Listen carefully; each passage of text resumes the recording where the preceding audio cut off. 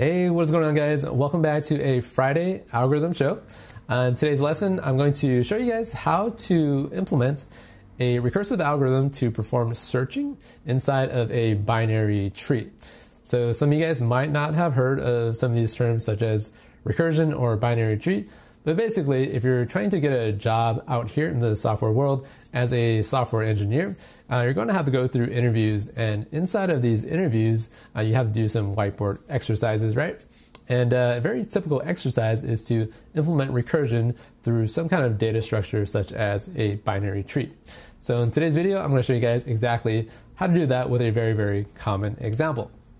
All right, so starting out here with playgrounds loaded up, we have a very, very simple illustration uh, as to what one uh, sample tree looks like, starting with a root node of 10. So the very top node is commonly referred to as the root node, and uh, we have the left child of 5 and the right child of 14.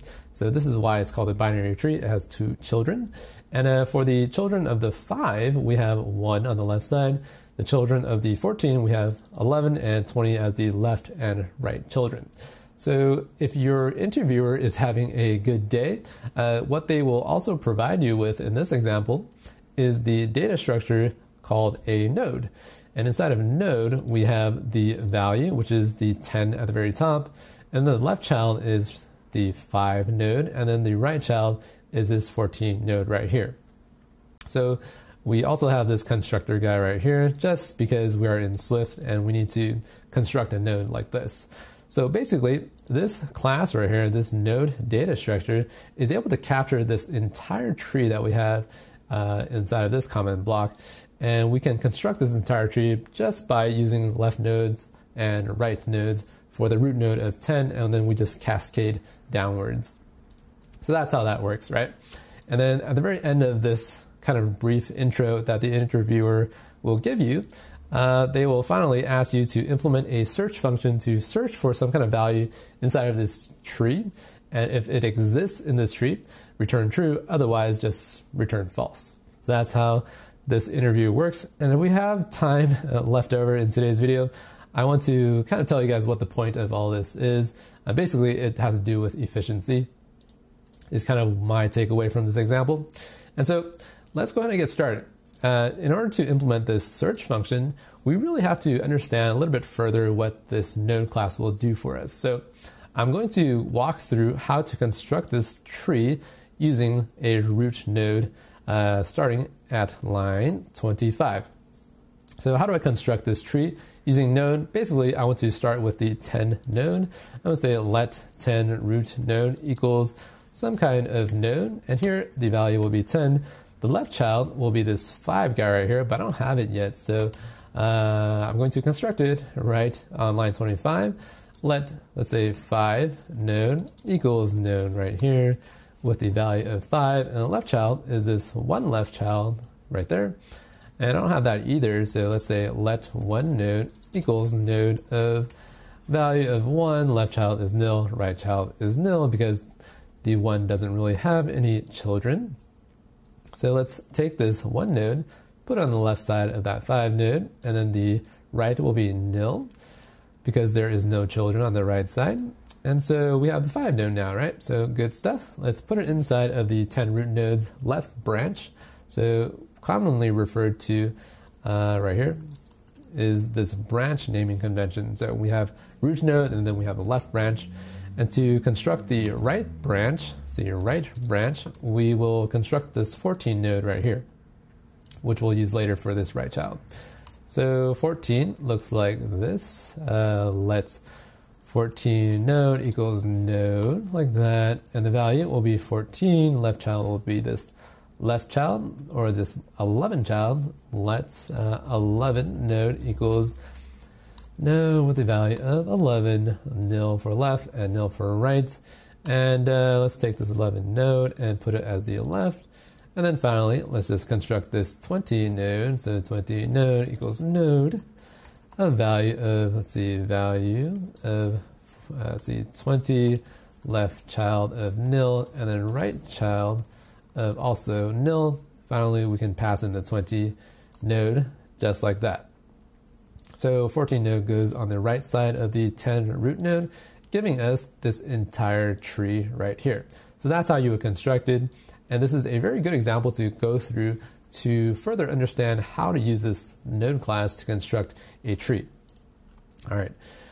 Moving on, we can now start to implement what this search uh, algorithm needs to look like. So a good idea is to kind of make a sample call with a node and a search value. And the node looks like this, uh, 10 root node, which was constructed up here. And the search value needs to be something like 10. So assuming that we are searching through this tree right here that we're uh, we conveniently constructed right here, we need to return a value of true because 10 is actually in this tree, but the algorithm is just returning a false. So to implement some logic in here, we'll say if node.value is equal equal to 10, we'll just return the uh, value of true, right?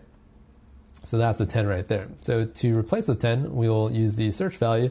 And now the function returns uh, true for the search value of 10. If we put in 5, what's going to happen in this use case? Well, it says return false, but we know this tree has the value of 5, so it should actually return true.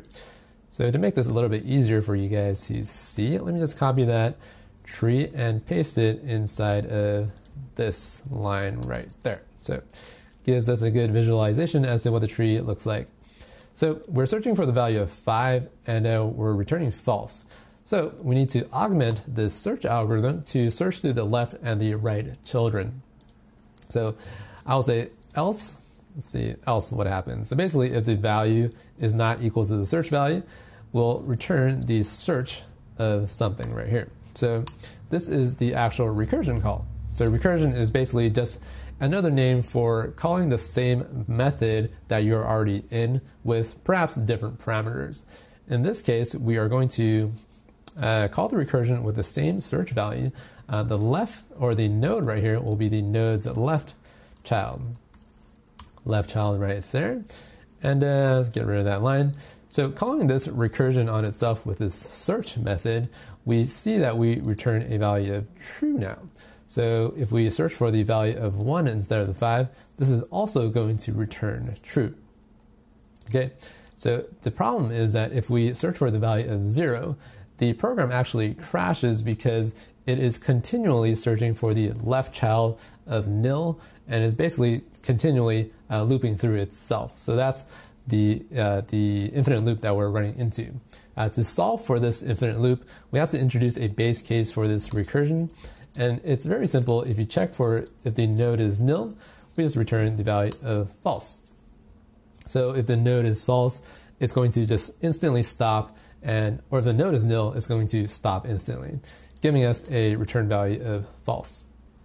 So that's kind of how that works. And uh, let's see if the program will kind of execute a interrupt on itself to get rid of the infinite loop.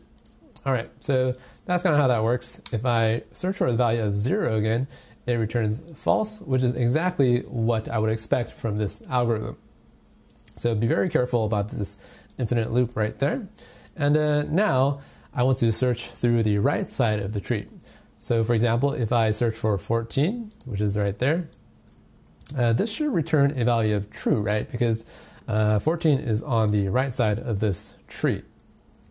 So to fix this, I will introduce an OR right here at the very end of the uh, search recursive call, and we'll search for the node of node's right child and the search value of 14. No, that's not what I need. I need the search value parameter from the actual call.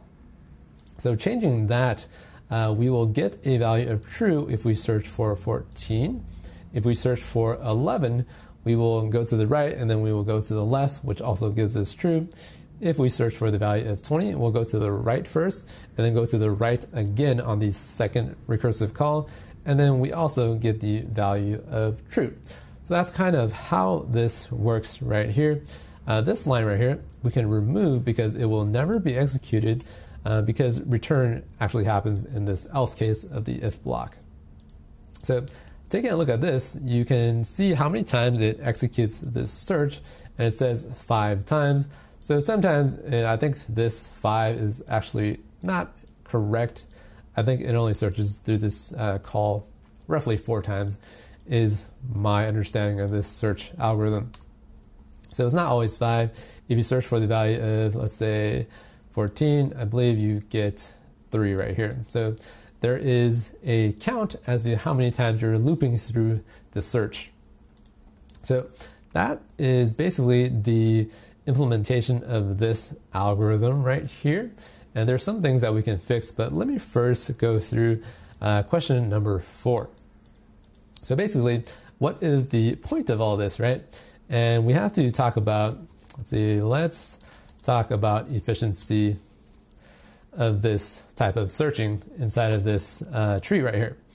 And uh, you can see that if you are searching through this tree and you're just trying to find the value of 5 right here, how many times do you have to search through this uh, search algorithm? Basically, you have to go through it roughly two times. So you go through the 10, you go to the left, and then you find the 5, and you exit outside of the search recursive call.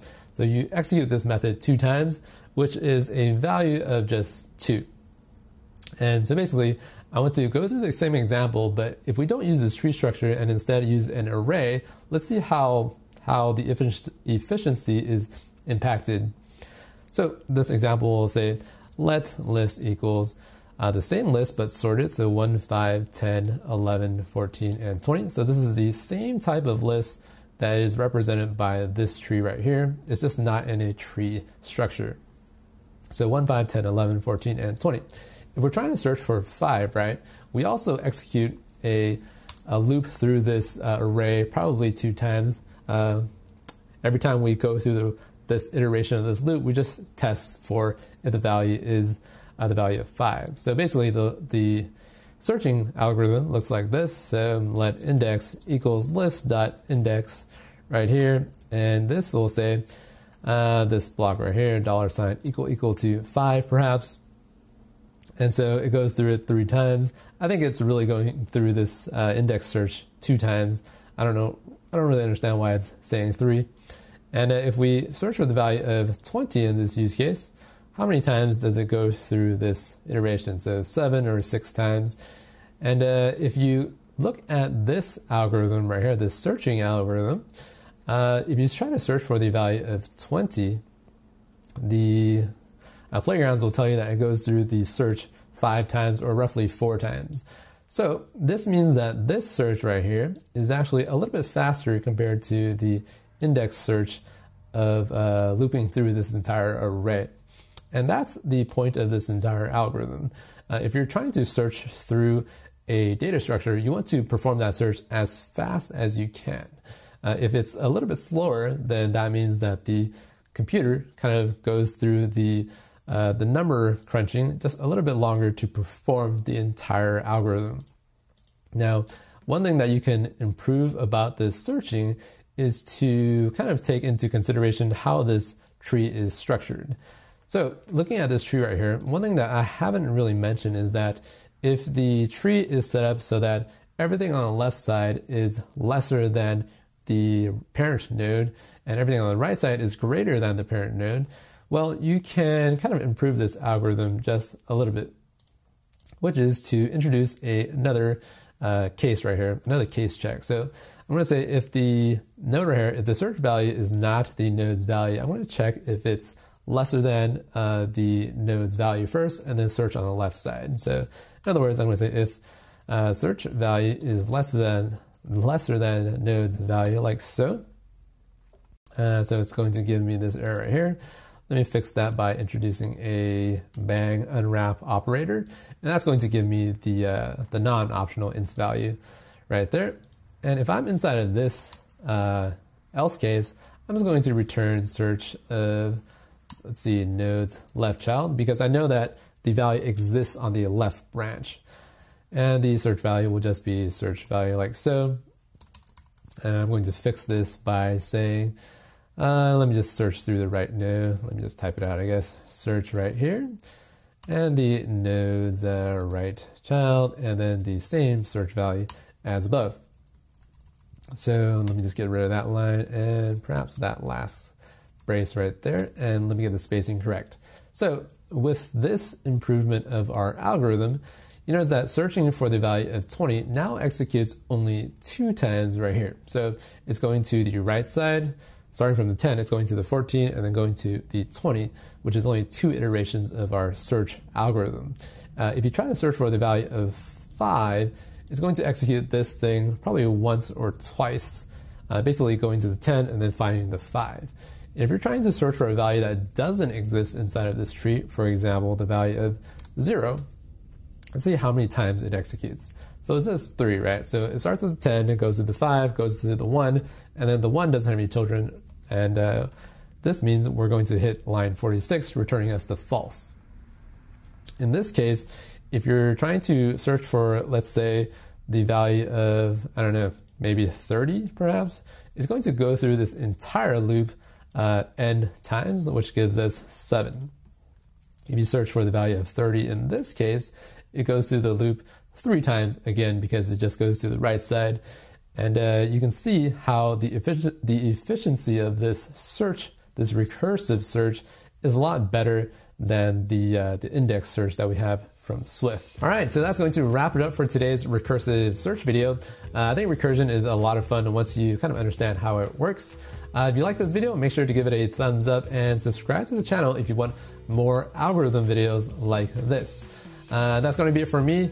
Hope to see you guys next time. Bye bye, guys.